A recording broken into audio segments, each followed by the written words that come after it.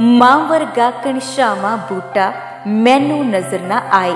ਲੈ ਕੇ ਜਿਸ ਤੋਂ ਸ਼ਾਂ ਉਦਾਰੀ ਰੱਬ ਨੇ ਸਵਰਗ ਬਣਾਈ ਬਾਕੀ ਕੁਲ ਦੁਨੀਆ ਦੇ ਬੂਟੇ ਜੜ ਸੁੱਕਿਆਂ ਮੁਰਝਾਂਦੇ ਐ ਪਰ ਫੁੱਲਾਂ ਦੇ ਮੁਰਝਾਇਆਂ ਇਹ ਬੂਟਾ ਸੁੱਕ ਜਾਏ। ਰੱਬ ਵੀ ਨੇੜੇ ਹੋ ਕੇ ਸੁਣਦਾ ਜਦ ਮਾਵਾਂ ਕਰਨ ਦੁਆਵਾਂ।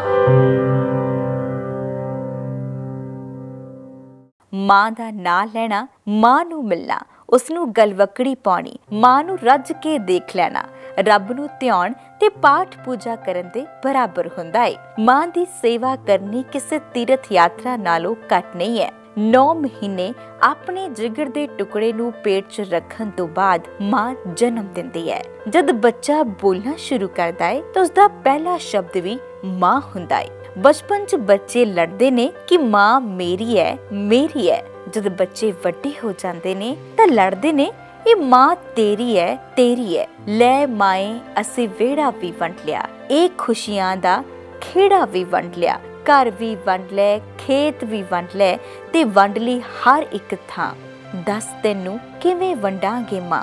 ਮਾਂ ਦੇ ਪੈਰਾਂ 'ਚ ਜੰਨਤ ਵਸਦੀ ਹੈ ਪੀਰ ਪੈਗੰਬਰ ਜਿਨ੍ਹਾਂ ਨੂੰ ਦੁਨੀਆ ਪੂਜਦੀ ਹੈ ਉਹਨਾਂ ਨੂੰ ਜਨਮ ਦੇਣ ਵਾਲੀ ਵੀ ਮਾਂ ਹੈ ਜੋ ਮੂੰਹ ਦੀਆਂ ਤੰਦਾਂ ਇੱਕ ਮਾਂ ਦੀਆਂ ਬੱਚੇ ਨਾਲ ਜੁੜੀਆਂ ਹੁੰਦੀਆਂ ਨੇ, ਉਹ ਕਿਸੇ ਹੋਰ ਰਿਸ਼ਤੇ ਦੀਆਂ ਨਾ ਤਾਂ ਹੁੰਦੀਆਂ ਨੇ ਤੇ ਨਾ ਹੋ ਸਕਦੀਆਂ ਨੇ। ਬੱਚੇ ਭਾਵੇਂ ਜਿੰਨੀ ਮਰਜ਼ੀ ਉਮਰ ਦੇ ਹੋ ਜਾਂਦੇ ਨੇ, ਪਰ ਮਾਂ ਦੇ ਲਈ ਹਮੇਸ਼ਾ ਬੱਚੇ ਰਹਿੰਦੇ ਨੇ। ਇਸੇ ਤਰ੍ਹਾਂ ਇੱਕ ਖੂਬਸੂਰਤ ਕਹਾਣੀ ਜੋ ਪ੍ਰਗਟ ਸਿੰਘ ਨੇ ਲਿਖੀ ਹੋਈ ਹੈ, ਅਸੀਂ ਤੁਹਾਡੇ ਨਾਲ ਸਾਂਝਾ ਕਰਦੇ ਹਾਂ।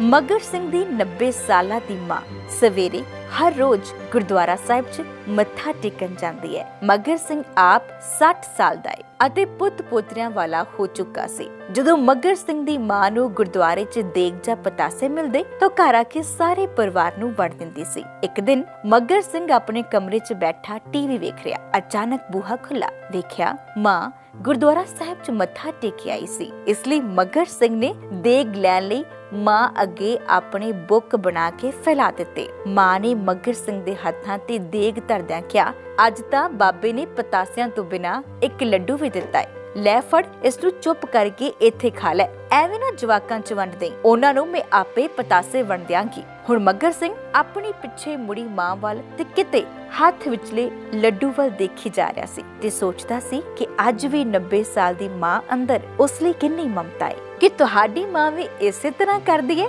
ਜਾਂ ਕੋਈ ਤੁਹਾਡਾ ਖੂਬਸੂਰਤ ਪਲ ਜੋ ਤੁਹਾਡੀ ਮਾਂ ਦੇ ਨਾਲ ਤੁਸੀਂ ਸਾਂਝਾ ਕੀਤਾ ਹੋਵੇ? ਬਹੁਤ ਖੂਬਸੂਰਤ ਪਲ ਤੁਸੀਂ ਸਾਂਝਾ ਕਰਨਾ ਚਾਹੁੰਦੇ ਹੋਵੋ। ਜੋ ਤੁਸੀਂ ਕਦੇ ਭੁਲਾ ਨਹੀਂ ਸਕਦੇ, ਤਾਂ ਪ੍ਰੋ ਪੰਜਾਬ ਟੀਵੀ ਦੇ ਨਾਲ ਉਸ ਨੂੰ ਸਾਂਝਾ ਕਰਨਾ ਬਿਲਕੁਲ ਨਾ ਭੁੱਲਣਾ ਤੇ ਪ੍ਰੋ ਪੰਜਾਬ ਦੀ ਪੂਰੀ ਟੀਮ ਦੇ ਵੱਲੋਂ ਆਪ ਸਭ ਨੂੰ ਮਾਂ ਦਿਵਸ ਦੀਆਂ ਵਧਾਈਆਂ।